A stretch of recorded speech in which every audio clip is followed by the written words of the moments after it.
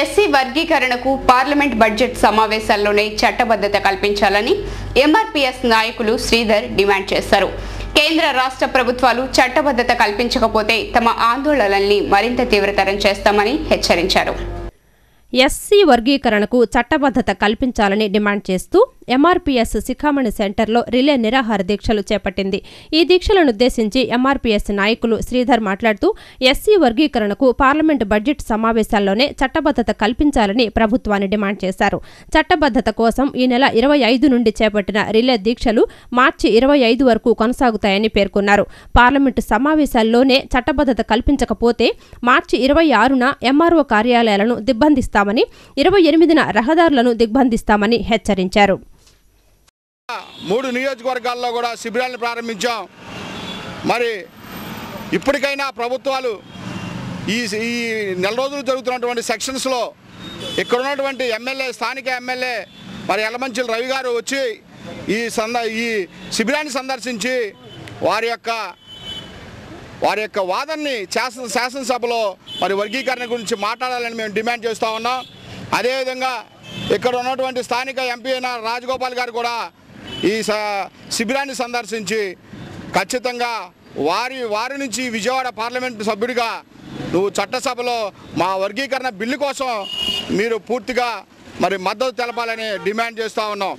అన్ని రాజకీయ పార్టీలకు కూడా మరి ఒక నెల రోజుల క్రితం ఢిల్లీలో ప్రధానమంత్రికి అన్ని ప్రతిపక్ష పార్టీలు కూడా మద్దతు తెలిపినప్పటికీ ఇప్పటి వరకు కూడా ప్రభుత్వం చీమ కుట్టినట్టు కూడా లేకుండా ఫిజిక్స్ ఎలక్ట్రానిక్స్ సబ్జెక్టులు రెండు కీలకమైనవని ప్రొఫెసర్ దక్షిణామూర్తి పేర్కొన్నారు.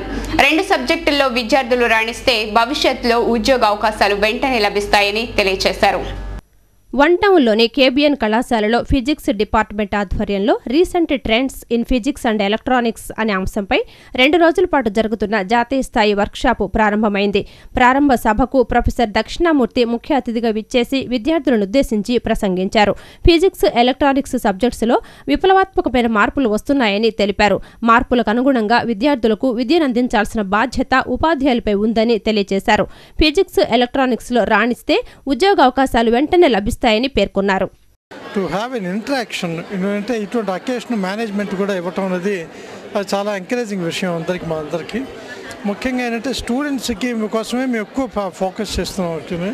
వాళ్ళు కాంపిటేటివ్ స్పిరిట్లో వెళ్ళాలని ఒక ఆశతో మేమంతా ఆ లెవెల్లో లెక్చర్స్ ప్రిపేర్ చేసుకొచ్చి వాళ్ళ కోసం వచ్చాం ఈ ఫిజిక్స్ ఎలక్ట్రానిక్స్ రెండు కంబైన్డ్ సబ్జెక్ట్ కాబట్టి practicals as well as theoretical subject. రెండు కలిసి లెక్చర్స్ ఇస్తున్నారు అందరూ. సో వాళ్ళకి స్టూడెంట్స్ ఓవరాల్ వ్యూ బాగా వస్తున్న ఆశతో ఈ సక్సెస్ కాన్ఫరెన్స్ సక్సెస్ కావాలని చెప్పి కోరు వార్తలు ముగించే ముందు ముఖ్య అంశాలు మరోసారి.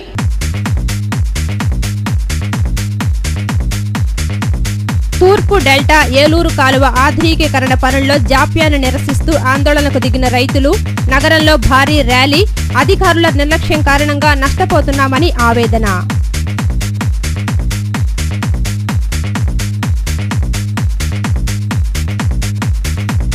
ట్రాఫిక్ నిబంధనలు ఉల్లంఘించిన వారికి కౌన్సిలింగ్ ఇచ్చిన ట్రాఫిక్ అదనపు డీసీపీ రమణ నాకాబందీలో డెబ్బై ఆరు వెహికల్స్ సీజ్ చేసినట్లు వెల్లడి.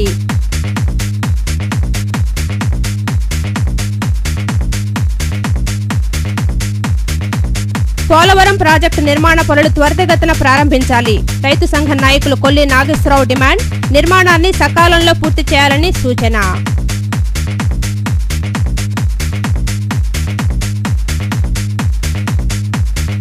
నగరపాలక సంస్థ బడ్జెట్ దగాకోరు బడ్జెట్ అని విమర్శించిన సిపిఐ నాయకులు సుబ్బరాజు భారాలు మోపే విధంగా ఉందని మండిపాటు.